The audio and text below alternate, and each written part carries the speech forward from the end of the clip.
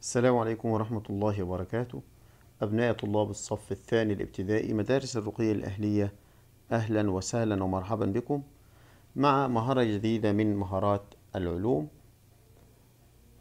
توقفنا عند صفحة 157 ودرسنا المصطلحات درسنا الاحتكاك ودرسنا الانصهار.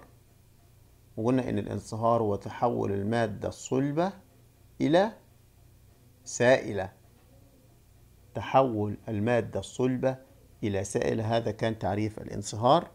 ومن يعطيني مثال للانصهار أحسنت يا بطل انصهار الشمع. عند إشعال الشمع تنصهر يعني تتحول من الحالة الصلبة إلى الحالة السائلة أو انصهار الثلج. ممتاز. أيضا درسنا التبخر. والتبخر هو تحول السائل إلى غاز.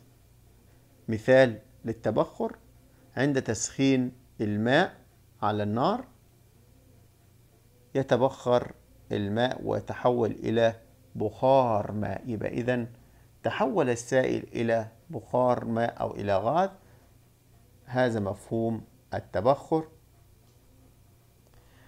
توقفنا عند التجاذب. وهذا كان في درس المغناطيس. هو سحب الأجسام بعضها لبعض ودرسنا إن المغناطيس يسحب الأجسام المصنوعة من من إيش يا بطل؟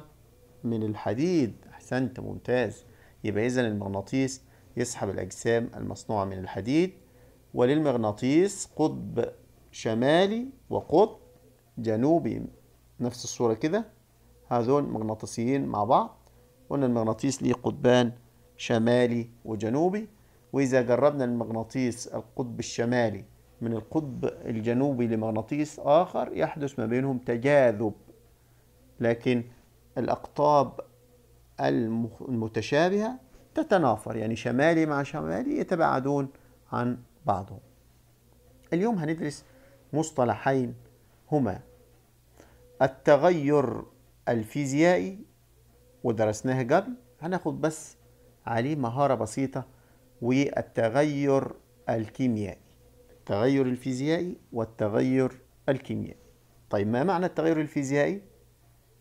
اقرأ يا بطل. هو تحول في حجم المادة أو شكلها.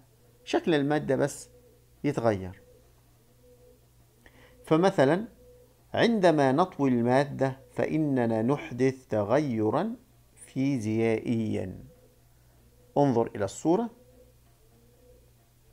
هذه صورة أوراق وإنك أنت تطويها يبقى أنت غيرت من حجمها أو غيرت من شكلها يبقى هذا تغير فيزيائي.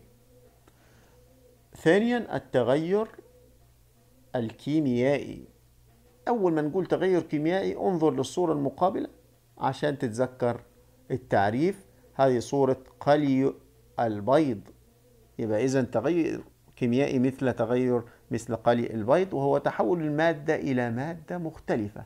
بعد ما تكسر البيضة وتقليها ما يمديك ترجعها ثاني إلى البيضة في شكلها الأول. يبقى إذا تغيرت أو تحولت المادة إلى مادة أخرى مثل قلي البيضة وتغير كيميائي. طيب عايزين منك يا بطل تذكر مثال ثاني غير هذا غير اللي في الصورة. تغير فيزيائي وتغير كيميائي. فكر عايزين تغير فيزيائي وعايزين تغير كيميائي. هذا مهارة اليوم.